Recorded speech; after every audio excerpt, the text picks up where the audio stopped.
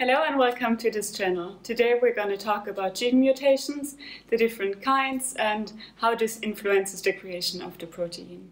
I would be happy if you could subscribe and let's get started. Now I would like to talk about gene mutations. First of all, what is a mutation? It is a permanent change in the DNA sequence. In another video I will talk about chromosome mutations where the chromosome is changed, but here we talk about changes within the genes. Mutations can be either hereditary or acquired. Hereditary hereditary mutations are inherited from a parent or parents and are since birth or since development of the embryo in every cell. They are also called germline mutations because they were in the parent's gametes and are passed on to the baby.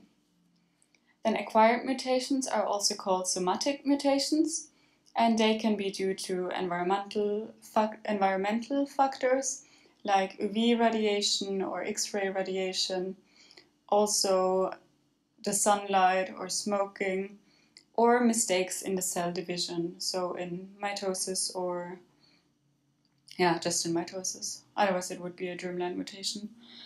And um, these mutations are in certain cells, but not in the gametes, so they are not passed on to the next generation. Now let's talk about the different kinds of mutations. There are three main kinds, the base substitution, the base addition and the base deletion. Now let's talk about the different kind of mutations, what happens and how it changes the protein conformation. So in insertion, as the name says, one or more base pairs are added to the DNA sequence and this leads to a change in the amino acid sequence if you're not completely sure about how this whole process from DNA to amino acid to protein works, you can go back to my other videos. I mentioned the replication, the transcription and the translation. You can see those and then come back here.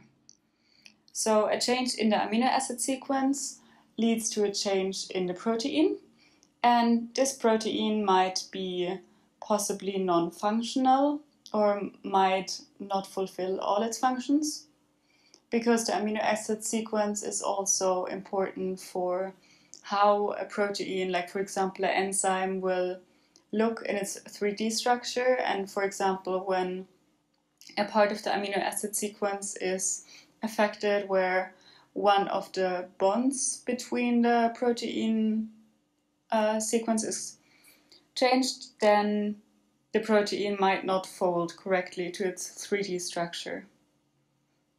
Then the next kind of mutation is deletion, where one or more base pairs are removed from the sequence. And it's also possible that complete genes or several genes are removed, depending on how large the amount of sequences that is affected.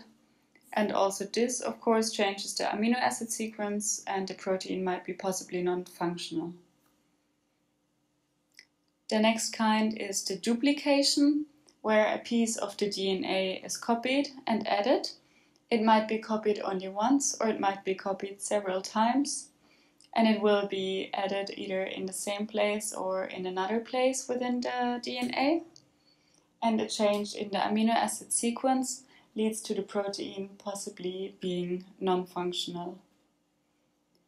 The next kind of mutation is the substitution.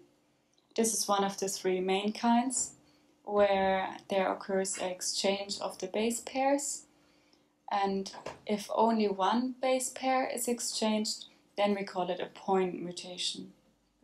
And the substitution might be either a transition or a transversion in a transition, a purine base is exchanged for another purine base, or a pyrimidine base is exchanged for another pyrimidine base. If you don't know what purines and pyrimidines are, I will link you in now the video for my introduction to, to genetics. There I explain what it is, how it works, and so on. So now we talk about the different kinds of mutations on a little bit different scale because the mutations lead to different kinds of problems within the genes, or maybe not. In case of a silent mutation, the mutation leads to the coding of a synonymous triplet, so the same amino acid will be put in in the sequence, so there is no change. So the body doesn't even notice that there happened something. While in a frame shift mutation, uh, we describe any mutation which leads to a shifting of the triplet reading pattern. So you know that always three bases code for one amino acid. If we now delete one or add one or um, add even more or exchange some bases, then this reading pattern doesn't work anymore. Then, yeah, you can imagine it's like a puzzle or a domino and suddenly one part is taken out and you can't always read three. So the next kind of mutation is a missense mutation, where there's an exchange of an amino acid in the sequence resulting in changes of the protein.